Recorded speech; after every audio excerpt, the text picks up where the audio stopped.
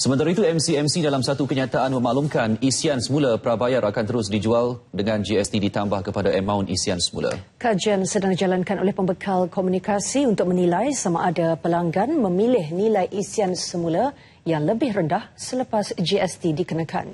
Tambah MCMC, kajian itu hampir selesai dan keputusannya akan dibentangkan kepada semua pihak yang berkaitan minggu depan. Pun begitu agak mustahil untuk pembekal perkhidmatan melaksanakan perubahan seperti yang diminta dalam masa dua hari. Masalah untuk kembali kepada kadar pra-GST adalah kerana kerumitan untuk membuat konfigurasi semula kepada sistem bukan hanya di pihak pembekal perkhidmatan malah juga ejen-ejen pihak ketiga.